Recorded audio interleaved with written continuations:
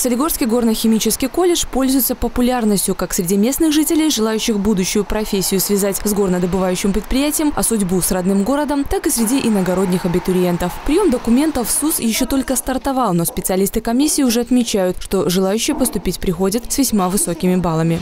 Мы начали работу с 20 июля. А, начали принимать документы от абитуриентов, желающих получить среднее специальное образование. За два дня работы мы уже приняли 85 а, заявлений от абитуриентов. На данный момент популярными а, являются специальности это разработка месторождений полезных ископаемых и электроснабжение. А, вот. В этом году мы, в принципе, принимаем на традиционные для нас специальности. Это на дневную форму обучения на основе базового образования четыре специальности.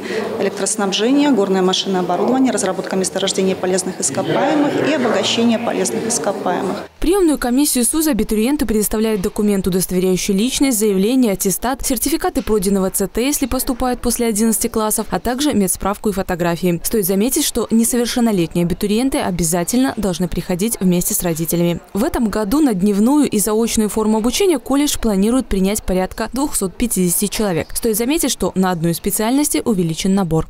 Мы набираем дополнительную группу, правда, на платную форму обучения.